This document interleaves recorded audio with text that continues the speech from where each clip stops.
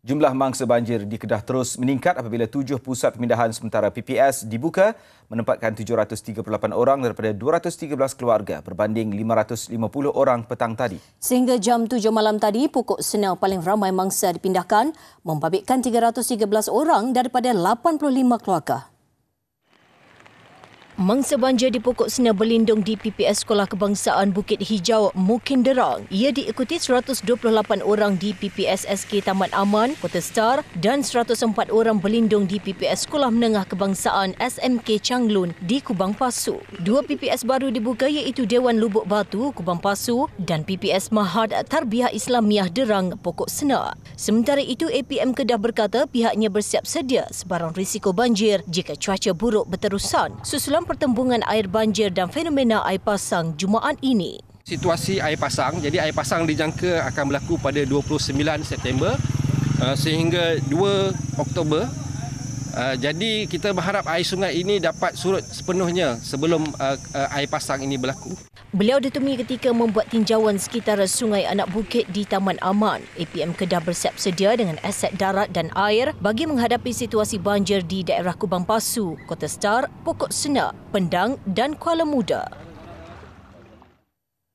Dalam pada itu, semua pihak berkaitan termasuk Agensi Pengurusan Bencana Negara, Angkatan Pertahanan Awam serta pasukan keselamatan diarah untuk terus berada pada tahap kesiapsiagaan yang tinggi susulan banjir yang melanda di beberapa negeri. Timbalan Perdana Menteri Datuk Seri Ahmad Zahid Amidi yang juga pengerusi Jawatan Kuasa Pengurusan Bencana Pusat berkata pemantauan akan dilaksanakan secara berterusan meskipun Jabatan Meteorologi Met Malaysia mengeluarkan notis penamatan amaran hujan berterusan pada peringkat waspada.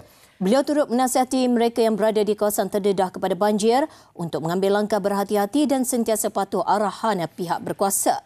Selain itu, beliau mendoakan semua mangsa yang terjejas dipermudahkan urusan dalam menghadapi musibah yang melanda.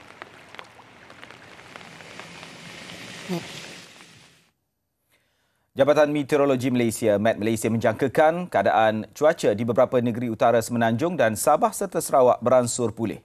Timbalan Ketua Pengarah Operasi Met Malaysia Lim Zi Hui berkata, hujan lebat terusan yang berlaku baru-baru ini adalah disebabkan negara berada dalam fasa peralihan monsun yang mana arah angin berubah mengakibatkan beberapa negeri mengalami banjir. Ia dijangka berakhir pada awal November depan. Beliau berkata meskipun cuaca direkodkan bertambah baik namun pihaknya turut menjangkakan hujan lebat dan ribut petir pada sebelah petang di semua negeri. Pada masa sekarang uh, keadaan cuaca di negeri-negeri utara Semenanjung beransur-ansur baik dan uh, di Sabah dan Sarawak pun begitu juga. Namun begitu uh, dalam tempoh perolehan monsun garis badai yang terbentuk di perairan uh, Selat Melaka masih berpotensi berlaku. Begitu juga hujan ribu petir pada sebelah petang yang boleh berlarutan sehingga malam masih boleh berlaku di semua negeri di Malaysia. Met Malaysia dalam kenyataan hari ini turut menamatkan amaran hujan berterusan bagi beberapa negeri antaranya Kedah, Perlis dan Pulau Pinang. Sementara itu, beliau berkata mengikut data terkini, tiada kawasan titik panas jerebu direkodkan dalam negara. Namun bilangan itu dilihat mengalami peningkatan di selatan Sumatera dan Kalimantan dengan masing-masing merekodkan 233 dan 284 titik panas. Di Sarawak, jerebu melanda hampir seluruh negeri itu dengan dua stesen mencatat bacaan indeks pencemaran udara IPU pada kadar tidak sihat.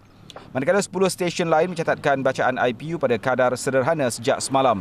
Menerusi laman web Sistem Pengurusan Indeks Pencemaran Udara Malaysia APIMS, stesen Sri Aman turut mencatatkan IPU tidak sihat iaitu 125 mulai jam 7 pagi tadi dan terus meningkat setiap jam sehingga mencapai 133 di sebelah petang. Di kawasan sekitar Lembah Kelang, meskipun bacaan IPU bagi 9 stesen dilihat pada tahap sederhana, namun tinjauan di sekitar Ibu Negara siang tadi mendapati jerebu kelihatan pada sebelah pagi sehingga tengah hari. Ia termasuk di Petaling Jaya, Ceras dan Ibu Negara dengan bacaan sekitar 60 hingga 99. Dalam pada itu, 2,580 aset Kementerian Kerja Raya KKR menerusi Jabatan Kerja Raya JKR dan Lembaga Lebuh Raya Malaysia LLM telah dipersiapkan bagi menghadapi impak peralihan monsun Timur Laut. Menterinya Datuk Seri Alexander Nantalinggi berkata ia termasuk kenderaan pacuan empat roda, jentera kaut dan lori muatan jentera penyodok bersedia digerakkan untuk pengangkutan petugas bagi misi bantuan pemantauan, pemulihan dan pembaikan infrastruktur, pembaikan cerun serta pemindahan mangsa. Dalam satu kenyataan, Datuk Seri Alexander berkata JKR berperanan menyediakan tempat berlindung sementara seperti kanopi atau khemah selain perkhidmatan teknikal dan kepakaran dalam bidang kejuruteraan forensik, geoteknik dan struktur serta melaksanakan penilaian kerosakan infrastruktur awam akibat bencana.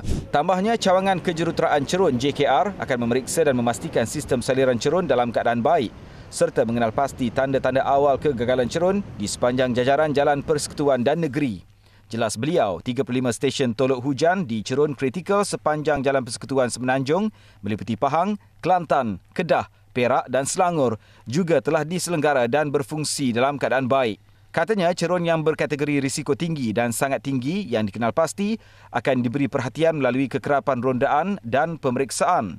KKR katanya turut bersiap siaga menggerakkan aset jambatan panel keluli bermodular JPKB atau Belly Bridge iaitu jambatan sementara yang boleh dipasang siap dalam tempoh minimum 36 jam sebagai laluan alternatif bagi menghubungkan kawasan yang terputus akibat bencana. Sebarang maklumat berhubung status kejadian bencana jalan raya boleh diperoleh di portal bencana JKR selain laman X, Facebook serta di talian hotline bilik gerakan bencana yang tertera.